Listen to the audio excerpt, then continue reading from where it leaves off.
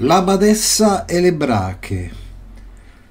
Stasera leggiamo insieme una novella di Boccaccio, del Decameron di Boccaccio, che è la seconda novella della nona giornata del Decameron. Questo che si vede sullo sfondo è un fotogramma tratto dal meraviglioso Boccaccio dei fratelli Taviani, un film a episodi ovviamente, nel senso che lui ha lui, loro, i fratelli Taviani, hanno uh, messo in pellicola, diciamo, alcune novelle del Decameron di Boccaccio e questa è stata interpretata da Paola Cortellesi, che rappresenta la badessa e qui con i denti che digrigna un po' perché è arrabbiatissima con una monaca, con una suora, ma poi vedremo come andrà a finire. Oh, che bello questi cuoricini che mi arrivano appunto da, uh, da Instagram e quindi possiamo senz'altro, si sente bene, benissimo, ha confermato Giusy. Ok, allora, tanto per incominciare, dobbiamo dire che noi abbiamo già commentato una novella da, una, dall'argomento similare. La novella è la novella di Masetto da Lamporecchio, che si trova a lavorare presso un monastero appunto femminile e poi diciamo dopo una o due di queste suore che incominciano a, mm, ad essere sedotte da lui o a sedurre Masetto, alla fine si può dire che tutto il monastero gode dell'amore di questo giovane, di questo bel giovane che è Masetto da Lamporecchio. Si tratta pertanto, dicevamo, di un argomento simile a quello che tratteremo stasera. Quindi l'amore all'interno di un monastero femminile dove, come sappiamo, siccome le suore hanno fatto voto di verginità, di castità, di per sé l'amore con gli uomini non sarebbe assolutamente previsto. Però le suore, le suore sono donne e quindi avviene, avveniva Boccaccio ce lo racconta, ce lo descrive, però con grande bonarietà. Ecco, per esempio, abbiamo notato che in queste novelle in cui a tema sono le suore che, tra virgolette, cadono nel peccato dell'amore, in realtà lui ci presenta queste situazioni, sia quelle di Masetto da Lamporecchio che della terza giornata, la prima novella della terza giornata, sia questa che leggeremo oggi della badessa e delle brache, ce le presenta veramente con tanto affetto, a parte che sin dal proemio sappiamo che Boccaccio esprime l'affetto nei confronti eh, delle donne e senza nessun livore anticlericalista, quale invece certe volte si trova quando descrive dei monasteri maschili. A proposito della nona giornata, noi abbiamo già commentato, o in classe o appunto in queste video dirette, due novelle di questa nona giornata, ovviamente anche per, non so come dire, per nostro piacere, avevamo già scelto le due novelle di Calandrino, perché così abbiamo completato proprio tutta quanta la saga, se vogliamo, di Calandrino, che si snocciola tra l'ottava è la nona giornata. Calandrino Pregno, addirittura Calandrino che è proprio quella successiva, che segue questa che leggiamo oggi, che addirittura eh, crede a tutto quello che gli dicono gli amici, addirittura che si sente male perché aspetta un figlio, così gli fanno credere. E lui eh, ci crede. È Calandrino innamorato, la quinta novella della nona giornata, che è anche l'ultima, diciamo, delle quattro dedicate appunto a Calandrino e alla sua brigata di, tra virgolette, suoi amici. Ecco, per quanto riguarda il meraviglioso Boccaccio, si tratta, dicevamo, di un film del 2015 e dove ci sono tanti episodi. Abbiamo messo un cerchio qua proprio sul fotogramma dedicato alla, so, al retro della copertina di un DVD, del DVD di Maraviglioso Boccaccio, che ci presenta, dicevamo appunto, un fotogramma di questa badessa interpretata da Paola Cortellesi e di questa suora che si macchia di questo peccato. Bene, credo di aver uh, introdotto a sufficienza questa, questa novella. Il nostro uh, veramente prezioso secondo volume di tutte le novelle del Decameron a cura di Vittore Branca, che è il critico che non loderemo mai a, su- a sufficienza per quel saggio straordinario che ha dato una svolta a tutta la critica letteraria sul Decameron di Boccaccio che si intitola Boccaccio medievale e che quindi finalmente fa tabula rasa di ogni, come dire, pretesa critica di un Boccaccio umanista a, a, a tutto tondo, perché Boccaccio è almeno altrettanto umanista quanto è medievale, quanto meno se non meno umanista e più medievale, come dimostra appunto Vittore Branca. Ma adesso abbando alle, alle polemiche, andiamo a leggere la seconda novella della nona giornata. Levasi una badessa in fretta e al buio per trovare una sua monaca, a lei accusata, col suo amante nel letto una badessa si sveglia, è svegliata dalle altre, dalle altre monache, no? Per andare a scoprire una sua monaca, a lei accusata, accusata presso di lei. A lei, infatti, questa volta la preposizione a svolge funzione di preposizione locativa, col suo amante nel letto, trovata, scoperta quindi eh, proprio mentre infrange il voto di verginità e di castità con il suo amante nel letto, questa monaca.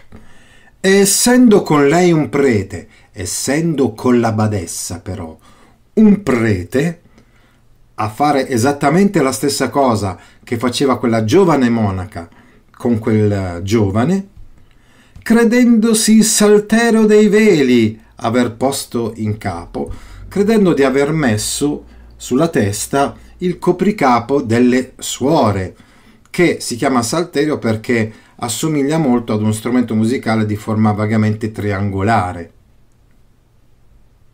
Le brache del prete vi si pose. Invece di avere questo salterio sulla testa, cioè il velo delle monache, aveva le brache del prete, con il quale la badessa stava consumando un rapporto amoroso. Queste, che si intravedono, sono come dei grandi mutandoni, oggi come oggi si direbbe dei grandi boxer, bianchi, bianchi come il velo della monaca, ma, ma sono proprio come dei piccoli pantaloni di panno uh, maschili, nettamente e decisamente maschili, e che quindi potrebbero far scoprire il rapporto d'amore che ha lei, cioè che ha la badessa con quel prete. Quindi doppio, uh, come dire, doppia infrazione dei veti di castità e di verginità. Infrazione della, della badessa, che addirittura doveva dare l'esempio alle monache, ma è la prima ad avere un rapporto con un uomo, e infrazione del prete, che si accoppia con questa badessa le quali, vedendo l'accusata, l'accusata, cioè la monaca che era stata colta in flagrante mentre aveva un rapporto con un giovane nella sua cella, diciamo così, eh, era stata accusata quindi, ma lei vedendo questi mutandoni, diciamo, da uomo sulla testa della badessa, è fattala accorgere. E quindi facendo capire alla badessa che lei se ne si era accorta di cosa aveva la badessa in testa, fu deliberata, fu liberata dall'accusa e quindi anche da qualsiasi pena, e ebbe agio di starsi col suo amante. Da quel momento in poi poté stare lei e le altre con i loro amanti dentro le mura del convento. Come sapete, infatti, c'è l'abstract, cioè all'inizio delle novelle del Decameron c'è sempre la sintesi di quello che è il contenuto della novella, perché la gioia, diciamo così, il, il piacere della lettura non sta tanto nella, nella suspense, diciamo, di come va a finire, ma proprio nel come si racconta questa storia.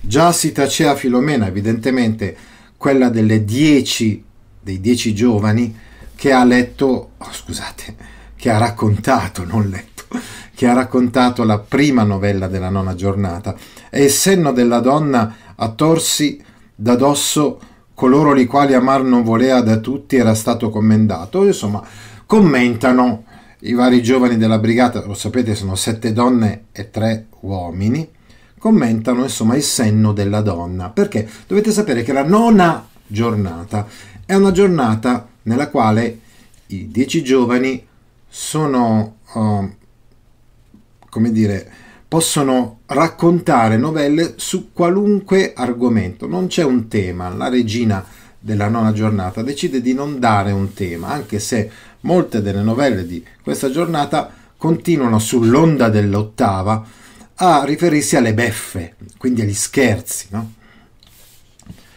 Comunque stavamo dicendo, e così in contrario non amor ma pazzia era stata tenuta da tutti l'ardita presunzione degli amanti, quando la reina a Elissa vezzosamente disse Elissa, segui, la qual prestamente incominciò. Quindi eh, anche la prima novella raccontava una storia d'amore ed Elissa eh, è, è, la, è la giovane che adesso incomincerà a raccontare su incitamento della stessa regina, cioè della regina sarebbe la giovane che quel giorno uh, è un po' a capo, tra virgolette, della brigata. Una brigata democratica, e soprattutto poi nel racconto delle novelle, eh, per ognuna di, die- di queste dieci giornate ci sarà o un re o una regina differente.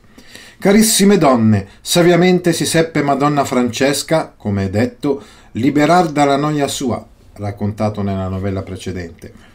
Ma una giovane monaca aiutandola la fortuna, se da un soprastante pericolo, leggiadramente parlando, di liberò. Io adesso racconterò di un'altra donna, ma questa volta non di una donna laica, ma di una monaca che riuscì a risolvere i suoi problemi. Leggiadramente parlando vuol dire che, a differenza della gran parte delle novelle della nona, più che di una beffa, in questo caso, potremmo parlare di un motto. Eh, ricorderete che tutta la sesta giornata del Decameron è stata dedicata ai motti, cioè vuol dire quindi le arguzie, quel, dicevamo, quel parlare eh, accorto, il leggiadramente parlando, che riesce a liberarti dai guai, come non so, ricordate, non so, Chicchibio, piuttosto che Frate Cipolla, eccetera, eh, semplicemente usando la parola il logos. E come voi sapete, assai sono i quali, essendo stoltissimi, maestri degli altri si fanno i gastigatori. Ecco, ce l'ha su Boccaccio con i moralisti, ce l'ha su con questi maestri degli altri, cioè quelli che si ritengono, sono autoritari e pensano di essere uh, dei modelli o comunque delle persone che hanno tutto il diritto di correggere gli altri, gastigatori, li quali, siccome voi potrete comprenderle per la mia novella, la fortuna alcuna volta e meritatamente vitupera.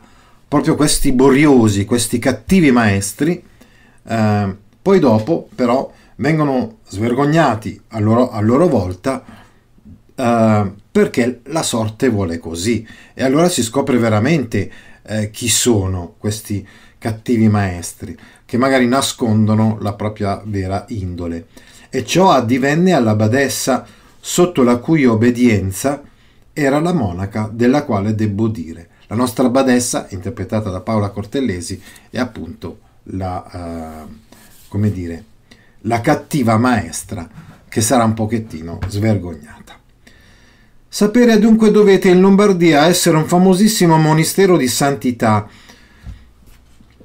e di religione, cioè religione nel senso di obbedienza alle autorità, alle leggi ecclesiastiche, nel quale tra le altre donne, monache che v'erano, v'era una giovane di sangue nobile e di meravigliosa bellezza dotata, la quale Isabetta, chiamata, essendo un dì a un suo parente alla grata venuta, cioè queste donne, pur essendo, diciamo, chiuse in clausura, tra l'altro lo sapete più o meno da Bonifacio VIII in poi tutte le religiose devono, uh, sono chiuse in clausura lontane da qualsiasi contatto con, con il mondo, ecco, uh, ha un, dei parenti che vengono a trovarla comunque dietro, oltre la grata. Essendo, dicevamo, questa monaca un dì a un suo parente alla grata venuta, d'un bel giovane che con lui era si innamorò, si innamorò di un bel ragazzo, di un bel giovane, che si trovava insieme ai suoi parenti a visitarla. E questo è l'attore che personifica questo bel giovane. E esso, lei veggendo bellissima, già il suo desiderio, avendo con gli occhi concetto, avendo concepito quindi desiderio di unirsi con lei, similmente di lei si accese. Quindi si innamorano tutte e due. La monaca di questo visitatore, questo giovane visitatore, e il giovane visitatore della monaca e non senza gran pena di ciascuno, questo amore un gran tempo senza frutto sostennero. Quindi non solo si innamorano, ma cercano di trovarsi, ma non è molto facile dal momento che lei è chiusa in clausura. Ultimamente, essendone ciascuno sollecito, venne al giovane veduta una via da potere alla sua monaca occultissimamente andare. Finalmente trovarono il modo però di incontrarsi, di nascosto da tutti di che ella, contentandosi, non una volta, ma molte con gran piacere di ciascuno, la visitò e quindi i due si trovano. E segnatamente è lui che riesce a entrare nel monastero e ad avere un rapporto con lei. Ma continuandosi questo, avvenne una notte che egli da una delle donne di là dentro fu veduto senza vedersene o egli o ella dall'Isabetta partirsi e andarsene. Quindi eh, non solo quest'altra monaca è riuscita a vedere, qui vediamo lo spioncino per esempio nel film, no?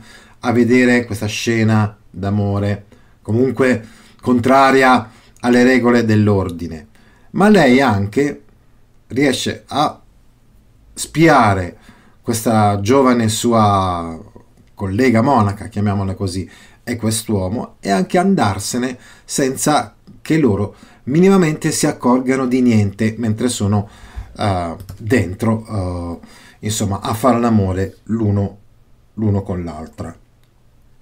Il che costei con alquante altre comunicò.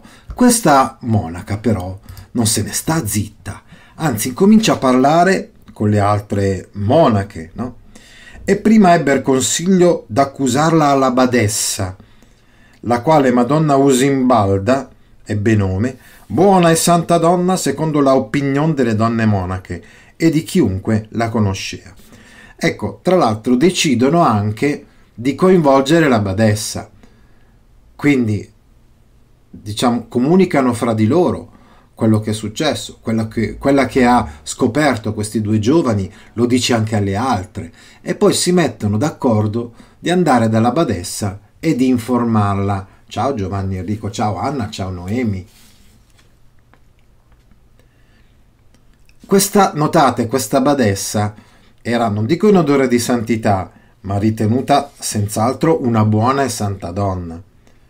Poi pensarono queste monache, a ciò che la negazione non avesse luogo. Attenzione però, denunciare quest'altra monaca senza coglierla però sul, in flagrante voleva dire che poi lei, eh, la parola di una contro la parola dell'altra, avrebbe potuto discolparsi, avrebbe, avrebbe avuto luogo la negazione, cioè che lei avrebbe negato di essere eh, stata insieme con un uomo di volerla far cogliere col giovane alla badessa.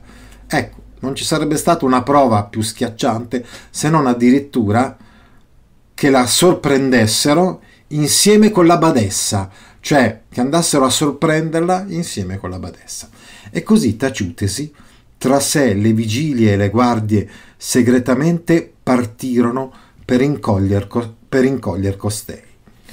Quindi uh, andarono uh, dalla badessa, no? E adesso vediamo che cosa succede. Or, non guardandosi Elisabetta da questo né alcuna cosa sappiendone, era convinta infatti Isabetta di stare insieme con il suo amante che nessuna si fosse accorta di questo. Avvenne che ella una notte vel fece venire. Ah no, scusate, quindi un'altra notte, quindi. Uh, uh, cioè è premeditata questa, uh, diciamo così, questa sorpresa, no? Eh, viene premeditata dalle suore. Aspettano il momento giusto, il momento opportuno, un'altra notte in cui magari appunto questo amante ritorna per, per avere un, un, un'ora d'amore con questa, con questa monaca. E allora dicevamo, il che tantosto sepper quelle che a ciò badavano, e quindi immediatamente loro uh, seppero quando sarebbe stata, ci sarebbe stata la, la, la, notte d'amore, le quali, quando a lor parve tempo, essendo già buona pezza di notte, quindi in piena notte, in due si divisero, e una parte se ne mise a guardia dell'uscio della cella d'Elisabetta, e un'altra n'andò correndo alla camera della badessa. Quindi loro che si sono messe d'accordo si sono divise. Una a controllare comunque che Isabetta sia insieme con quell'uomo e l'altra invece a chiamare la badessa, a fare venire la badessa. E picchiando l'uscio, quel gruppo di monache che va, tra virgolette, a svegliare la badessa, a lei che già rispondeva dissero Su, Madonna, levatevi tosto, che noi abbiamo trovato che Elisabetta ha un giovane nella cella, cioè ha un giovane nella sua cameretta. Chiedono alla badessa, bussano alla sua cella e le chiedono di svegliarsi presto per andare a cogliere in flagrante Elisabetta insieme con quell'uomo.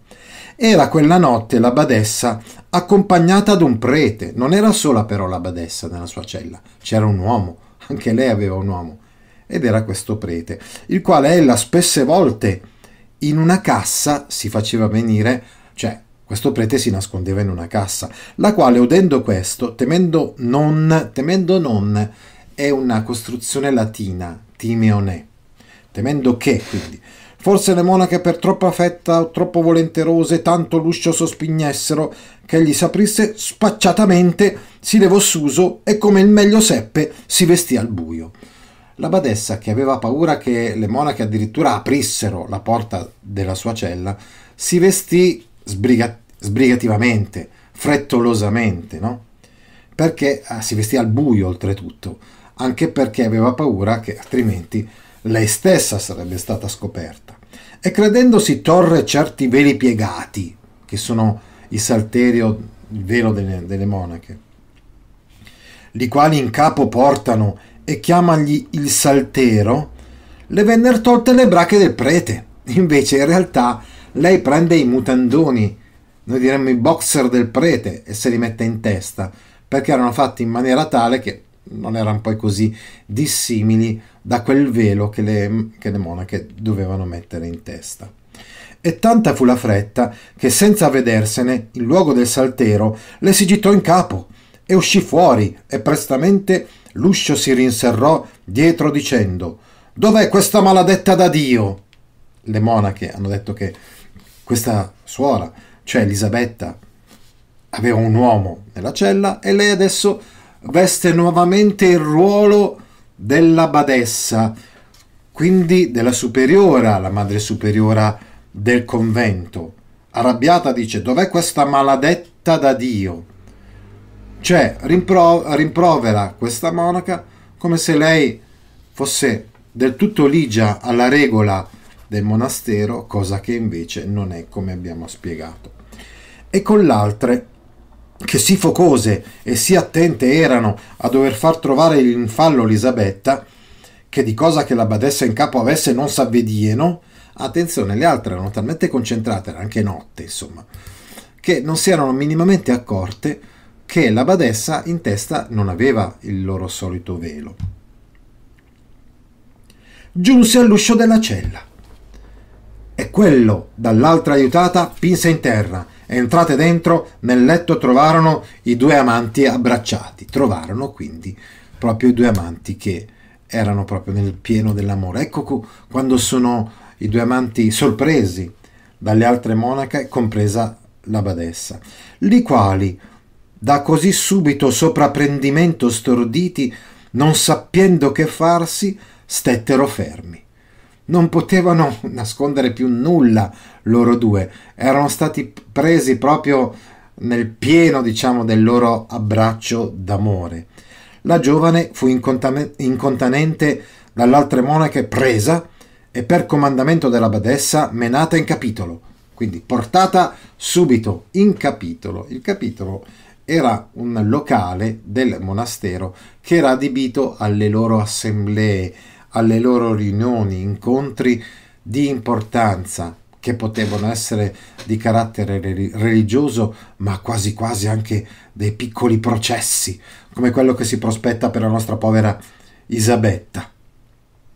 Il giovane s'era rimaso, era rimasto lì, e vestitosi aspettava di vedere che fine la cosa avesse, con intenzione di fare un mal gioco a quante Junior ne potesse, se alla sua giovane novi- novità niuna fosse fatta e di lei menarne conseco.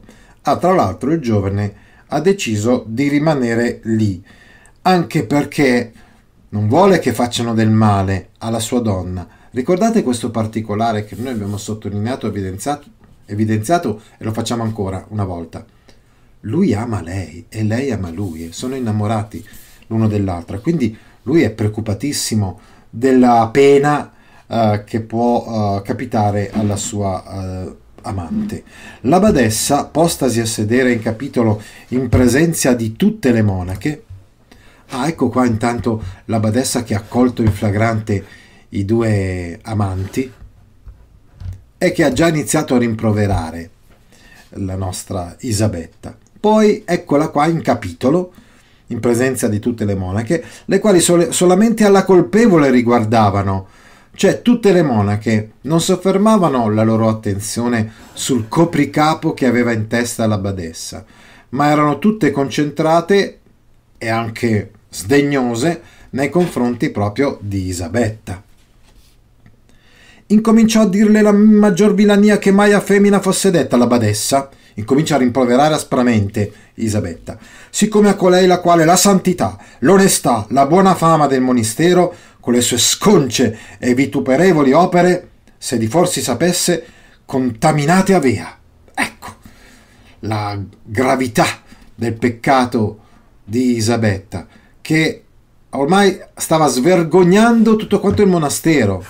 Quindi ce l'aveva la badessa con lei perché stava facendo fare una bruttissima figura a tutte loro. E dietro la villania aggiungeva gravissime minacce Stava meditando come fargliela pagare, insomma, a questa monaca. Tutta presa, dicevamo, dal suo ruolo di badessa.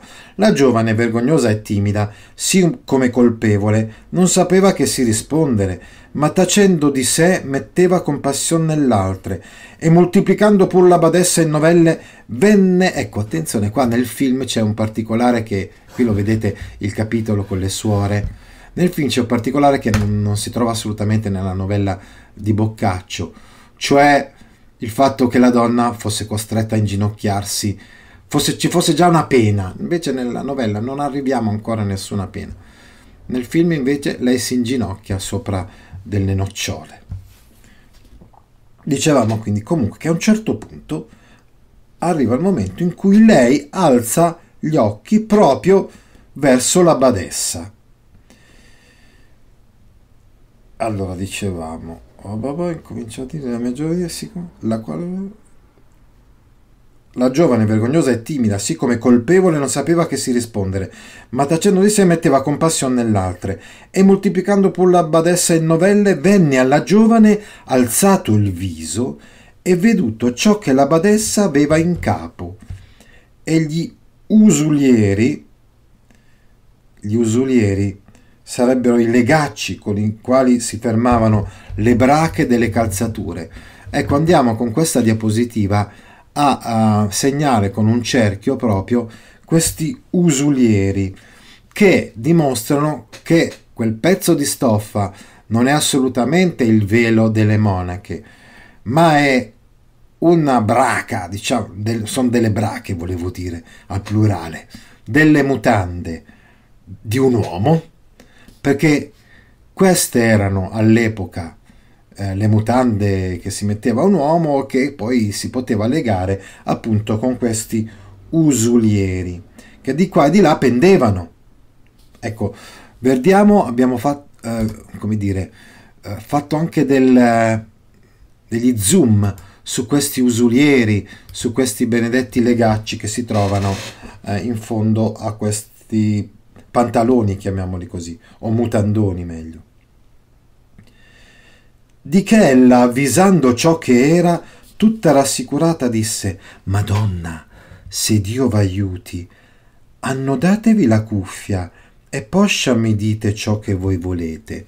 A questo punto dicevamo che la monaca intravede questi mutandoni, insomma questi, queste brache da uomo e si rivolge così alla badessa. Annodatevi la cuffia.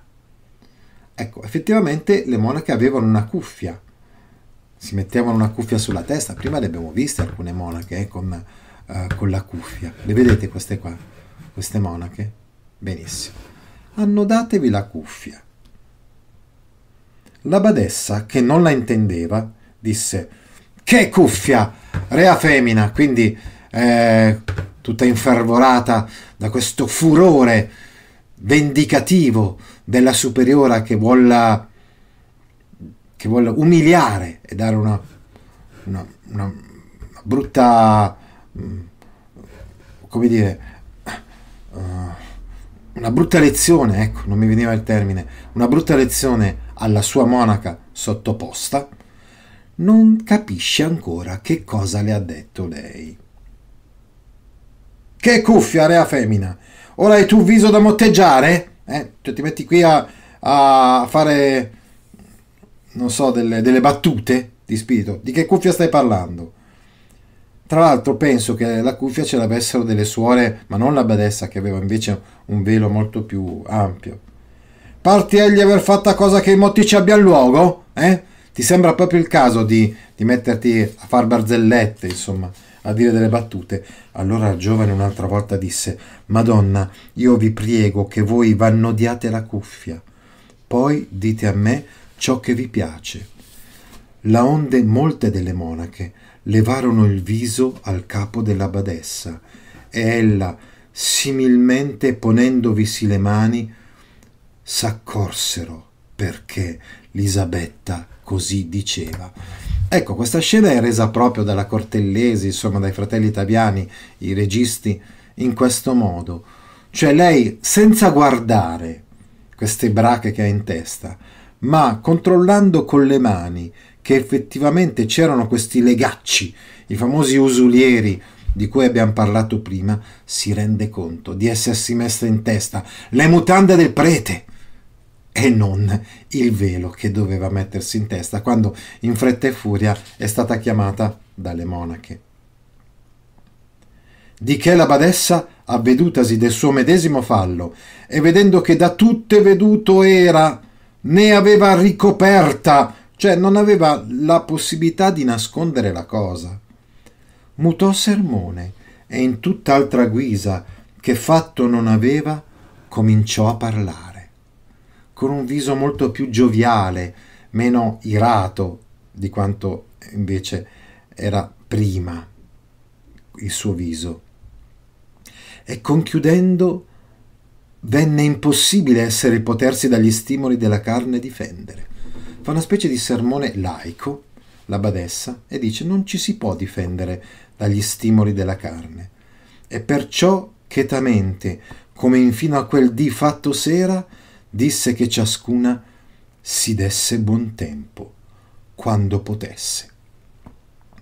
Ecco qui vorrei richiamare un verso della Divina Commedia di Dante addirittura. Si parla nel quinto canto dell'inferno, il famoso canto di Paolo e Francesca, si parla prima della schiera dei lussuriosi e delle lussuriose, tra le quali emerge Semiramide, una regina la quale libito felicito in sua legge, cioè praticamente fece una legge, una disposizione per cui da quel momento in poi era concesso qualsiasi tipo di mh, mm, sfrenatezza sessuale.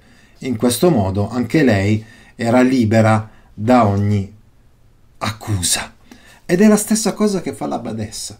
La badessa dice prendetevi buon tempo, che vuol dire avete un uomo, anche voi, bene, incontratevi con lui, non ve lo impedisco più da questo momento in poi.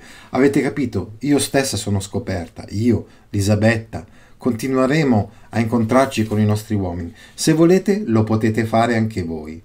E liberata la giovane, col suo prete si tornò a dormire, Elisabetta col suo amante, il qual poi molte volte, in dispetto di quelle che di lei avevano invidia, vi fe venire. L'altre, che senza amante erano, come seppero il meglio, segretamente procacciarono lor ventura. Eh sì, perché anche le altre suore non volevano essere da meno a questo punto e quindi anche loro si procurarono un uomo. Così termina la seconda novella della nona giornata.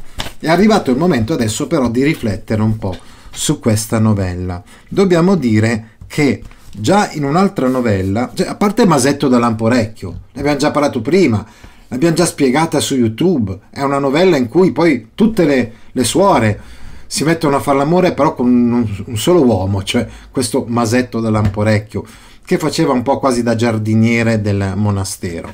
Invece nella giornata prima novella quarta abbiamo praticamente una trama molto molto simile a quella che abbiamo appena letto, spiegato, eccetera. Infatti dice proprio l'abstract, diciamo così, il sunto della novella. Un monaco, caduto in peccato degno di gravissima punizione, onestamente rimproverando al suo abate quella medesima colpa, si libera dalla pena. Quindi per farla breve, si tratta in buona sostanza dello stesso intreccio, a grandi linee, della novella che abbiamo appena letto, solo che in un monastero maschile e la prospettiva è completamente diversa perché là questi incontri d'amore, questi incontri volevo dire sessuali meglio, avvengono appunto per soddisfare un desiderio sessuale, non per amore, anche Masetto da Lamporecchio se vogliamo. Invece abbiamo sottolineato il fatto che Isabetta e il suo uomo si amano, sono innamorati l'uno dell'altro. Inoltre la cosa non diventa legge, come invece accade sia nel caso del monastero di Masetto da Lamporecchio, dove lui era il giardiniere di un monastero femminile, sia nel nostro monastero in Lombardia, così almeno sapete, lui era toscano, non poteva parlare male della Toscana, no? E allora, eh, insomma, spesso eh, si, fa, si, faceva così, si faceva così nelle commedie oppure nel, nei testi comici, no? Quando si doveva dire male di, di qualcuno, lo si ambientava in un luogo lontano dalla propria terra che, alla quale cam- campanilisticamente uno è, era legato. Dicevamo che in questo caso però la cosa non diventa legge, rimane un fatto privato. Anzi, diciamo che in quel caso eh, l'abate, insomma, eh, e anche questo monaco hanno come una sorta di tacito accordo fra di loro di non dir niente a nessuno di quello che fanno con una donna. Capite?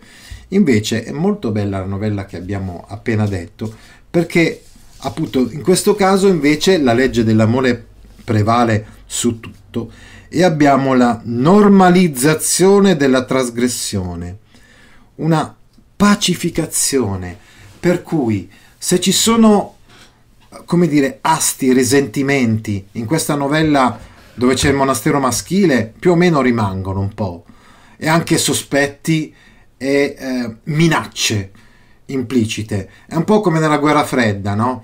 Questo abate, questo monaco decidono di non farsi più guerra solo perché se iniziasse la guerra ci rimetterebbero sia l'uno sia l'altro. Invece, nel caso della novella che abbiamo appena letto, abbiamo una pacificazione persino con quelle pettegole, bigotte, pronte solo ad accusare, che alla fine anche loro godono di questa nuova legge comune e possono anche loro trovarsi con i loro uomini.